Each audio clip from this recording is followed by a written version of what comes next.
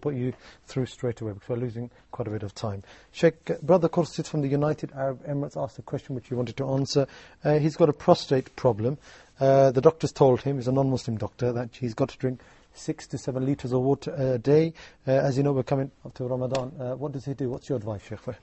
Simply Allah subhanahu wa ta'ala when He stated in Surah Al-Baqarah that fasting has become mandatory on those who believe as it was mandatory and prescribed on those who were before them. He said, وَعَلَى الَّذِينَ يُطِيقُونَهُ فِدْيَةٌ طَعَامُ مِسْكِينٌ So basically, if one cannot afford fasting because of old age, senility, or because he or she is sick chronically, they're not expected to heal any soon, they have a chronic illness such as diabetes, which if they fast and if they do not take the medicine, and if they do not take uh, food or water or sugar during the day, they might end up in a coma, then they must break their fast and they must take the medicine. Allah subhanahu wa ta'ala prohibited us from killing ourselves or causing our any harm to our own bodies and souls.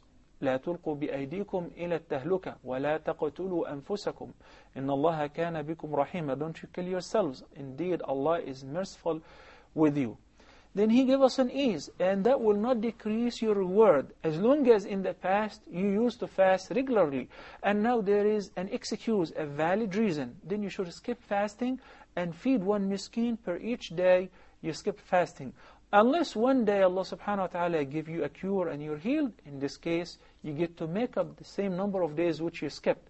So if the physician said this is a temporary illness, which hopefully in a year or two, you will be able to fast again and you will be cured after a surgery or whatever, in this condition, you will be obliged to make up the fasting which you skipped. But if fasting will cause any will, will, will cause any harm to you, then you must skip fasting. And uh, it's okay to take a second opinion of a Muslim doctor.